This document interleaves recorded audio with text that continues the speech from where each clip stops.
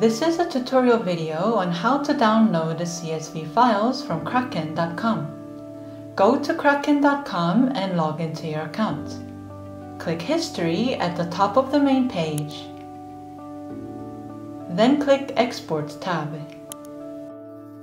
Select Ledgers under Export Type and select all fields under Ledger Fields. Select your start date. You can download the transaction data from after January 1st, 2011.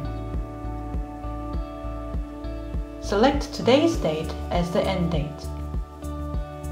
Click Submit.